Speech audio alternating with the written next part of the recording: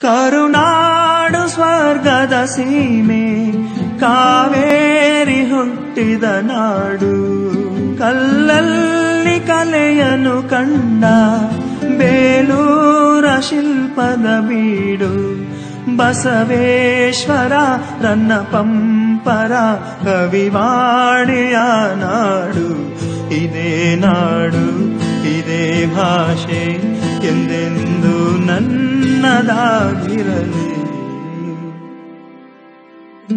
ಚಾಮುಂಡಿ ರಾಕ್ಷೆಯು ನಮಗೆ ಗೊಮ್ಮಟೇಶ ಕಾವಲು ಇಲ್ಲಿ. ಶೃಂಗೇರಿ ಶಾರದೆ ವೀಣೆ ರಸತುಂಗೆಯಾಗಿದೆ ಇಲ್ಲಿ.